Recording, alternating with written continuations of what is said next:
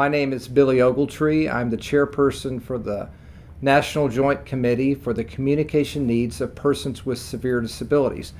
This group has been in place since the late 1980s and has been all about uh, policy and practice issues uh, for people with severe disabilities, especially in the area of communication, but in other areas as well.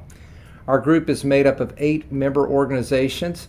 Each organization offers representatives uh, that meet annually, and we get together and talk about policy and practice issues. Uh, what I've uh, tried to put together in this video project uh, is an opportunity for members of the NJC to share their thoughts about uh, policy, practice, or practice tips that may be useful for someone entering uh, and beginning their work with severe disabilities, people with severe disabilities, be they students or be they professionals. So, what you'll hear in the next few minutes are the good thoughts uh, of those that work with this population and have done so uh, for quite some time. I hope you can take that information and apply it to your work. The Communication Bill of Rights can and should be used for advocacy purposes. It would be a very effective tool to use to influence policy and practice. And we still, in meetings that we go to or in talking to people, we find out that people are not aware of these rights. And therefore, it is so important to still get the word out, even 25 years later, so that people know how to interact with those with severe communication disabilities and understand and appreciate the rights that they have and that all of us share as communication partners and communicators. And we want to promote these rights widely and we want people to disseminate them and talk about them in the settings in which they work or they live. So if you have in service programs, make sure to include the Communication Bill of Rights.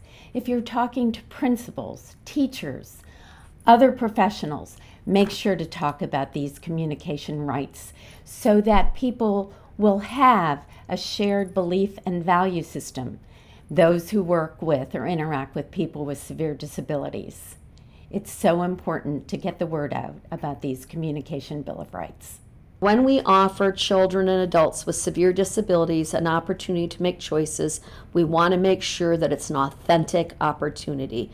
In order for it to be authentic, a certain set of conditions need to exist, and we need to have taught certain elements of choice making. So there is a difference between participating in a choice making opportunity in which we can't be certain that the person really selected their preference and actually making an authentic choice from among meaningful alternatives.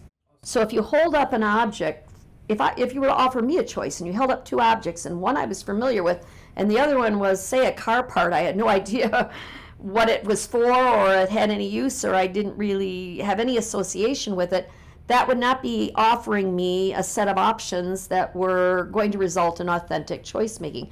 So the options must be grounded in real life experiences. That's number one, which sometimes is. Um, sometimes that doesn't occur for people with severe disabilities. We have to be thoughtful about that and provide those experiences. The second thing is if you're asking me or anyone else to choose from options, we want to make sure that one option has more value to the individual than the other options especially if you're asking uh, someone to select it as like a reinforcement, um, something that you particularly want them to enjoy, then the, they have to have a relative value of one over the other. Um, they also have to understand the representation for the options. So this is not a time to teach them the meaning of a symbol, for example. So if you're going to hold up two pictures or two words that represent the two options, then they need to understand what those representations or those symbols mean, or else they cannot make a meaningful choice. Then there are issues around access as well. Uh, is the photo sufficiently enlarged? Have you held it up for a long enough period of time? Uh, do you have a background perhaps? Have you considered whether the person has a visual impairment, cortical visual impairment? the need for a slant board, the need for yellow outlining, or any other the other features that a child with cortical visual impairment or some other form of visual impairment might need. And lastly, there's a number of things you need to consider around your procedure in addition to accessibility. For example, are you going to offer each option or representation of an option or symbol for an option one at a time, or two at a time, or in a larger array? Are you going to, uh, how long will you offer each option? So you want to make sure that each option or representation of an option is offered for the same length of time and in a similar way so and that you don't bias the person by kind of leaning toward what you'd like them to choose or shaking it more dramatically than the other options. And then you also want to make sure that uh, you have offered a sufficient amount of wait time for the person to process cognitively and to develop a motor response then so that they can display their indicating response. We haven't thought enough about the future when we have the kids in school. So we've been thinking about their communication within the walls of the school, and we haven't been future planning enough, uh, which may change how we intervene and who we intervene with. So that's one issue which I think is totally correctable. You might be wondering, and in fact, I hope you're wondering, about what happens to kids when they graduate high school and the systems that are built into serving kids with disabilities. What happens to those adults, particularly those with severe disabilities? Unfortunately, many of them experience what we call a falling off the cliff. Uh, the adult service systems are not nearly as comprehensive, uh, nor is the funding and the right to services as strong for adults as they are for kids. So, what that means for you, if you are or you do practice in the schools, you need to be carefully thinking through the transition process. So, how can we make sure that the hard work that has gone on in helping individuals communicate uh, while they're in the school system carries over to their life as adults? So, that's a challenge for you. It's also an opportunity one of the issues with services to adults with complex communication needs, and particularly those also with severe disabilities, is getting service providers who can provide appropriate services to those adults. And the service provision is and should look very different than it does to um, school age kids uh, with those same severe disabilities.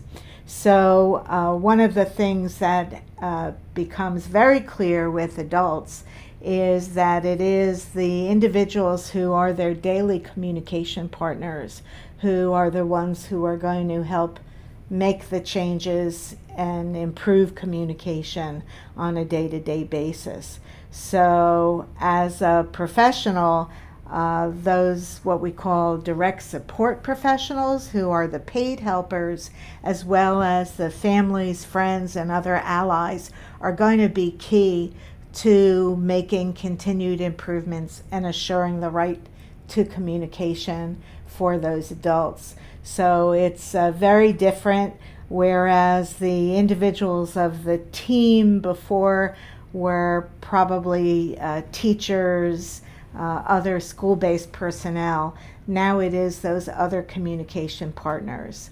So the interprofessional team is going to look a lot different for those adults, and they certainly uh, are key to uh, continuing the successes that those individuals may have found as children that um, we have an entire population of adults, um, a generation of adults who never received um, access to technology and supports for um, communication intervention. Um, and just quite frankly, the technology didn't exist when they were young, going through school. And some of our perspectives on the use of augmented communication have also changed over time with the research as it has evolved over the years, in the past 30 years. And um, I think we just need to remember that there's this generation of adults who are entering um, adulthood, coming out of high school and transitioning, that may be having AAC needs for the first time, or that may be introduced to augmentative communication for the first time. And um, there may be some myths about their development, um, such that they may not some folks may not think that they have uh, the ability to develop new communication skills in adulthood. And I think as um, all adults are continuing to develop throughout adulthood, we must remember that um, adults with severe disabilities are also continuing to develop, and it's never too late to introduce augmentative and alternative communication strategies um, to them to support that development. It's never too late to try a new strategy and don't presume that everything has been tried once they get to adulthood. Um, that as they're um, changing and developing, and there may be stresses that are um, reduced from adults by finishing high school and moving into the um, adult world and having support employment opportunities and a different set of team members around them. And um, we need to be mindful that there's not this plateau of, of um, development there and that we need to continue to support their needs. So, I'm excited to talk to you about literacy and why literacy is something that we should consider for every individual of any age and regardless of the severity of their disability. The truth is that if you use augmentative and alternative communication to communicate with the world, we have to teach you how to spell, or you'll never be able to say everything you want to say whenever you want to say it to whomever you want to say it to. We have all kinds of beautiful solutions to use picture symbols and well organized communication systems and um, tactual symbols that are coming out now that we have access to 3D printers. We have all kinds of solutions. But if we're not teaching individuals literacy, if we're not teaching them how to use letters, whether they're in print or braille or auditory format, in order to spell, they'll always be beholden to the words that we put onto their devices or they'll be restricted to the ideas that we have or can come up with based on what they do tell us when they're trying to communicate with us. If they can spell, they can communicate anything they want to. Now, I'm not suggesting that it's easy to teach spelling to everybody in the world. And I think in order to learn to spell, you actually have to learn more about reading and writing. It isn't just about spelling, it's about being able to use spelling to take ideas that you have in your head and translate them into a print, print form for other people to be able to interact with. That requires that we start from tomorrow, beginning to help people understand concepts of print or braille, beginning to understand letters and sounds and words and how they work, so that over time we can take a comprehensive approach to help people move towards more and more conventional literacy every day. I have a really good friend and when I first met him at age 11, he didn't have any measurable literacy skills. And in fact, aside from a fairly consistent yes no response, didn't have a lot of ways that he could communicate and interact with the world. He just celebrated his 32nd birthday, and every day he's getting better at reading and writing and communicating. In fact, just last night, he sent out a post, uh, Facebook post to all of his friends, and he asked all of us to pray for him because this afternoon he's having surgery to revise his baclofen pump. The first time he ever used uh, print to communicate with the world was when he was 17, and that pump was put in for the first time. And his family was very worried about whether or not they should do the procedure. And he was able to use spelling to communicate well enough with his family that he wanted to give it a try because he thought it might help. Now, his family did not program the words onto his communication system that would have allowed him to communicate with them about why he wanted a say in this choice. In fact, they thought they were doing the right thing by trying to carefully consider the dangers of surgery versus the possible relief that he might get. The fact that 15 years later, he's now able to use his literacy skills to reach out to all of the people who know and love him to say, "Hey, will you pray for me tomorrow? I want to make sure I do good." That that is a testament to what the power of literacy is. Essentially, you know, with interprofessional collaborative practice, instead of trying to do everything yourself or focusing only on your narrow area, you're really working seamlessly with other professionals and with the individual and the family. And I think that is the key throughout the lifespan. You know, people with severe disabilities have a complex profile, and so they have complex strengths and needs, and you can't solve that by yourself. No speech language pathologist or OT or PT is going to be able to meet all their needs. And so we really need to work together in order to provide the best outcomes. And so I'm currently working in early intervention. So my team is often primarily me and the family. And then, you know, I often start with these kids when they're tiny. I mean, they could be two months old when I first see them, and I may be the only person on the team. And then as they grow, the needs shift and change, and then we bring additional professionals into the team. And so we try to work in consultation and collaboration with each other when, you know, I see a child who's now starting to have feeding challenges, then I'll bring in someone with feeding expertise. And I think that's one of the important pieces of interprofessional collaboration is this uh, setting up a climate of mutual respect and shared values where we all have the same idea of where we're headed and we also understand and respect each other's points of view and their knowledge base so i know which professionals I would call in for feeding issues. And that might be different than someone for sensory needs. And so understanding and respecting everyone's individual contribution, and that includes the family. And I think too often families kind of maybe aren't as valued or respected in this process, but you know, it doesn't make sense for us to be working on goals as professionals that are not important either to the individual or their family we all have to be in it together. Both MaryAnn and I have spoken to groups about and written about, and that has to do with myths that have impacted um, services for individuals with severe disabilities. The kinds of myths that uh, MaryAnn and I are talking about are, are perhaps a little bit more specific. So, one myth has to do with when do you provide augmentative and alternative communication services to an individual? And one of the things that we're addressing is this is not a last resort alternative, but actually what we would like people to consider a first line of defense.